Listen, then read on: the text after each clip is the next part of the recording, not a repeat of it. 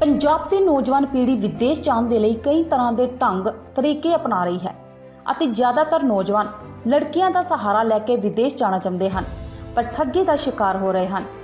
ਤਾਜ਼ਾ ਮਾਮਲਾ ਗੁਰਦਾਸਪੁਰ ਦੇ ਪਿੰਡ ਖੋਖਰ ਤੋਂ ਸਾਹਮਣੇ ਆਇਆ ਹੈ, ਜਿੱਥੇ ਇੱਕ ਨੌਜਵਾਨ ਲਵਪ੍ਰੀਤ ਅਤੇ ਉਸਦੇ ਪਰਿਵਾਰ ਨੇ ਆਰੋਪ ਲਗਾਏ ਹਨ ਕਿ ਉਸਨੇ ਪਟਿਆਲਾ ਦੀ ਇੱਕ ਲੜਕੀ ਮਨਦੀਪ ਕੌਰ ਨਾਲ 6 ਸਾਲ ਪਹਿਲਾਂ ਆਪਣੇ ਲੜਕੇ ਦਾ ਵਿਆਹ ਕਰਵਾਇਆ ਸੀ।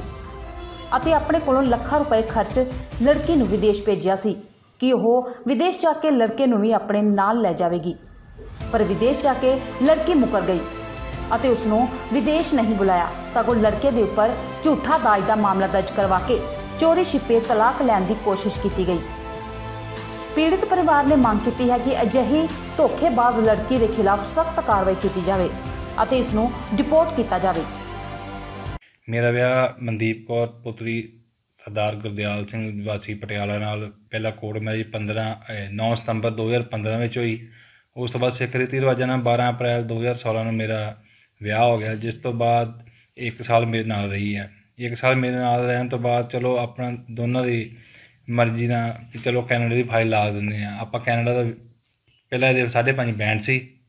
5.5 ਬੈਂਡ ਤੋਂ ਬਾਅਦ ਜਦੋਂ ਫਾਈਲ ਨਹੀਂ ਲੱਗਣੀ ਸੀ, ਤੇ ਉਸ ਤੋਂ ਬਾਅਦ ਆਪਾਂ ਪੀਟੀ ਕਰਵਾਈ, ਜਿਹਦੇ ਵਿੱਚ ਇਹਦੇ 51 ਸਕੋਰ ਆਏ। 51 ਸਕੋਰ ਲੈ ਕੇ ਫਿਰ ਆਪਾਂ ਫਾਈਲ ਅਪਲਾਈ ਕੀਤੀ ਕੈਨੇਡਾ ਦੀ। ਕੈਨੇਡਾ ਦਾ ਵੀਜ਼ਾ ਆ ਗਿਆ। 18 ਜਨਵਰੀ 2017 ਨੂੰ ਇਹਦਾ ਵੀਜ਼ਾ ਮਿਲ ਗਿਆ ਸੀ।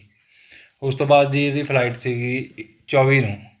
24 ਨੂੰ ਕੁਝ ਕਾਰਨਾਂ ਕਰਕੇ ਕਾਲਜ ਦੇ ਕਰਕੇ ਉਹ ਕੈਂਸਲ ਹੋ ਗਈ। ਫਿਰ 21 ਨੂੰ ਜਾਣਾ ਪਿਆ। 21 ਨੂੰ ਟਿਕਟ ਕਰਵਾ ਕੇ ਭੇਜ ਦਿੱਤਾ ਗਿਆ। ਜਦੋਂ ਇਹ ਬਾਹਰ ਗਈ ਹੈ ਉਸ ਤੋਂ 1 ਸਾਲ ਬਾਅਦ ਮੈਨੂੰ ਬੁਲਾਇਆ ਵਾ। ਮੈਂ ਬਹੁਤ ਦਿਨ ਤਰਲੇ ਤਰਲੇ ਮਾਰੇ ਵੀ ਮੈਨੂੰ ਬੁਲਾ ਲਾ ਬੁਲਾ ਲਾ ਬੁਲਾ ਲਾ। ਫਿਰ ਮੈਨੂੰ ਟੋਕਦੀ ਰਹੀ ਵੀ ਹਾਂ, ਅੱਜ ਬੁਲਾਉਂਗੀ ਕੱਲ ਬੁਲਾਉਂਗੀ।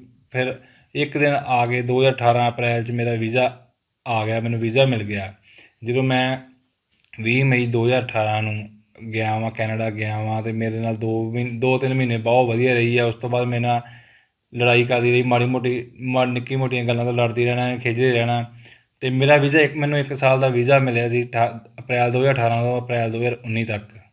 ਜਦੋਂ ਮੇਰਾ ਵੀਜ਼ਾ ਲੱਗ ਗਿਆ, ਜਦੋਂ ਮੀਨਸ ਮੈਂ 7-8 ਮਹੀਨੇ ਰਹਿ ਚੁੱਕਿਆ ਸੀ ਇੱਥੇ, ਜਦੋਂ ਅਪ੍ਰੈਲ ਲਾਗੇ ਆ ਰਿਹਾ ਸੀ ਤੇ ਮੈਂ ਇਹਨੂੰ ਕਿਹਾ ਵੀ ਮੇਰਾ ਵੀਜ਼ਾ ਐਕਸਟੈਂਡ ਕਰਾ ਦੇ, ਇਹਦਾ ਸਟੱਡੀ ਪਰ ਜਿੰਨੀ ਦੇਰ ਦਾ ਸਟੱਡੀ ਪਰਮਿਟ ਉਨੀ ਦੇਰ ਮੇਰਾ ਵਰਕ ਪਰਮਿਟ ਲੱਗਿਆ ਸੀ। ਇਹਨੂੰ ਫਿਰ ਸਟੱਡੀ ਪਰ ਇਹਨੂੰ ਵਰਕ ਪਰਮਿਟ ਮਿਲ ਗਿਆ ਸੀ 3 ਸਾਲ ਦਾ, ਜਿਸ ਜਿਸ ਦੇ ਥਰੂ ਮੇਰਾ ਵੀ ਐਕਸਟੈਂਡ ਹੋਣਾ ਸੀ। ਮੈਨੂੰ ਬੜੀ ਵਾਰ ਕਿਹਾ ਕਿ ਮੇਰਾ ਐਕਸਟੈਂਡ ਕਰਵਾ ਦੇ, ਤੇ ਇਹ ਬਾਅਦ ਚੋਂ ਇਹਨਾਂ ਨੇ ਪਤਾ ਕੀ ਗੱਲ ਹੋਈ ਜੀ, ਇਹਨਾਂ ਨੇ ਆਪਣੇ ਫੈਮਿਲੀ 'ਚ ਕੋਈ ਡਿਸਕਸ਼ਨ ਕੀਤੀ ਹੋਗੀ ਜਿਸ ਤੇ ਮੈਂ ਇਹ ਮੇਰੇ ਕੋਲ 5 ਲੱਖ ਰੁਪਏ ਮੰਗ, ਮੰਗਣ ਲੱਗ ਪਈ। ਵੀ ਮੈਨੂੰ 5 ਲੱਖ ਦੇਂਗਾ ਤੇ ਮੈਂ ਤੇਰਾ ਵੀਜ਼ਾ ਐਕਸਟੈਂਡ ਕਰਨਾ ਵਾ। 19 ਦਾ 19 ਦਾ ਫਿਰ ਫਾਈਲ ਕੇਸ ਕੀਤਾ ਹੋਇਆ ਵਾ। ਮੈਂ ਹਜੇ ਇਨ- ਜਦੋਂ ਮੈਂ ਕੈਨੇਡਾ ਸੀ, ਉਸ ਤੋਂ ਪਹਿਲਾਂ ਇਹਨਾਂ ਦੀ ਪਹਿਲਾਂ ਸੋਚੀ ਸਮਝੀ ਸਾਜ਼ਿਸ਼ ਬਣ ਗਈ ਸੀ ਸਾਰੇ ਪਰਿਵਾਰ ਦੀ ਵੀ ਇਹਨਾਂ ਨੇ ਕੇ- ਮੇਰੇ ਤੇ ਕੇਸ ਕੀਤਾ ਸੀ। ਕਿੰਨਾ ਪੈਸਾ ਖਰਚਿਆ ਗਿਆ ਕੁੜੀ ਉੱਪਰ ਖਰਚਾ ਸਰ ਲਗਭਗ ਲਗਭਗ 25 ਤੋਂ 30 ਲੱਖ ਦੇ ਵਿੱਚ ਵਿੱਚ ਸਾਰਾ ਖਰਚਾ ਮੇਰੇ ਫਾਦਰ ਸਾਹਿਬ ਦੇ ਅਕਾਊਂਟ 'ਚੋਂ ਗਿਆ ਮੇਰੇ ਅਕਾਊਂਟ 'ਚੋਂ ਗਿਆ ਮੇਰੇ ਕੋਲ ਸਾਰੀਆਂ ਰਸੀਦਾਂ ਪਈਆਂ ਜੀ ਜੋ ਵੀ ਖਰਚਾ ਹੋਇਆ। ਕੀ ਮੰਗ ਕਰਦੇ? ਮੈਂ ਇਹੋ ਮੰਗ ਕਰਦਾ ਵਾਂ ਵੀ ਇਹੋ ਜਿਹੀ ਕੁੜੀਆਂ ਨੂੰ ਡਿਪੋਰਟ ਕਰਨਾ ਚਾਹੀਦਾ ਵਾ ਤੇ ਜੋ ਆਪ ਜੋ ਇਹਨਾਂ ਦੇ ਸਖਤ ਤੋਂ ਸਖਤ ਕਾਰਵਾਈ ਹੋਣੀ ਚਾਹੀਦੀ ਆ। ਮੈਂ ਨਹੀਂ ਹੈਗਾ ਮੇਰੇ ਨਾਲ ਹੋਰ ਵੀ ਬਹੁਤ ਮੇਰੇ ਵਰਗੇ ਹੋਰ ਵੀ ਬਹੁਤ ਜਾਣੇ ਨੇ ਜਿਨ੍ਹਾਂ ਨਾਲ ਇਹ ਸਭ ਕੁਝ ਬੀਤਿਆ ਵਾ। ਇਹ 17 ਦੇ ਵਿੱਚ ਅਸੀਂ ਇਹਦਾ ਵਿਆਹ ਕੀਤਾ 16 ਚ। 16 ਦੇ ਵਿੱਚ ਅਸੀਂ ਵਿਆਹ ਕੀਤਾ ਵਾ, ਮੁੜ ਕੇ ਜਿਹੜੀ ਇਹਦੀ ਘਰ ਦੀ ਆ, ਮਨਦੀਪ ਕੌਰ, ਉਹਨੂੰ ਅਸੀਂ 17 ਦੇ ਵਿੱਚ ਬਾਹਰ ਭੇਜ ਦਿੱਤਾ। ਬਾਹਰ ਭੇਜਣ ਦੇ ਤਹਿਤ ਜਿੰਨਾ ਵੀ ਉਹਤੇ ਖਰਚਾ ਆਇਆ, ਸਾਰਾ ਹੀ ਮੇਰੇ ਅਕਾਊਂਟ ਚੋਂ ਪੈਸਾ ਗਿਆ। ਬਾਅਦ ਬਾਅਦ ਵਿੱਚ ਉਹਨੇ 1 ਸਾਲ ਬਾਅਦ ਇਹਨੂੰ ਬੇਟੇ ਨੂੰ ਬੁਲਾਇਆ ਨਾ। ਤੇ 1 ਸਾਲ ਤੋਂ ਬਾਅਦ ਮੁੜ ਕੇ ਜਦੋਂ ਇਹ ਗਿਆ ਵਾ ਤੇ 2 ਕੁ ਮਹੀਨੇ ਮਤਲਬ ਇਹ ਸਹੀ ਰਹੀ ਆ। ਤੇ 2-3 ਮਹੀਨੇ ਤੋਂ ਬਾਅਦ ਬਸ ਇਹਨੇ ਲੜਨਾ ਸ਼ੁਰੂ ਕਰ ਦਿੱਤਾ। ਤੇ ਬੇਟਾ ਡਿਪਰੈਸ਼ਨ 'ਚ ਰਹਿੰਦਾ ਸੀ ਤੇ ਇਹਨੇ ਫਿਰ ਇਹ ਵਾਪਸ ਆ ਗਿਆ। ਵਾਪਸ ਆਉਣ ਤੋਂ ਬਾਅਦ ਅਸੀਂ ਇਹਨੂੰ ਫੇਰ ਭੇਜਿਆ ਵੀ ਕੋਈ ਗੱਲ ਨਹੀਂ ਆਪੇ ਵੀਜ਼ਾ ਦੇਗੀ। ਪਰ ਜਾਂਦਿਆਂ ਨੂੰ ਜਦੋਂ ਇਹ ਗਿਆ ਵਾ ਉਹਨੇ ਉੱਥੋਂ ਆਪਣਾ ਸਮਾਨ ਚੁੱਕਿਆ ਪਤਾ ਨਹੀਂ ਕਿਹੜੀ ਜਗ੍ਹਾ ਚਲ ਗਈ ਆ। ਉਹ ਨਹੀਂ ਮੁੜ ਕੇ ਮਿਲੀ। ਮੁੜ ਕੇ ਬਾਅਦ ਵਿੱਚ ਇਹਨੇ ਕੁੜੀ ਹੁਣ ਪਟਿਆਲੇ ਆ ਜੀ ਉਹ ਕੈਨੇਡਾ ਆ ਜੀ ਟ੍ਰਾਂਟੋ ਰਹਿੰਦੀ? ਬ੍ਰੈਂਪਟਨ ਰਹਿੰਦੀ ਕੁੜੀ।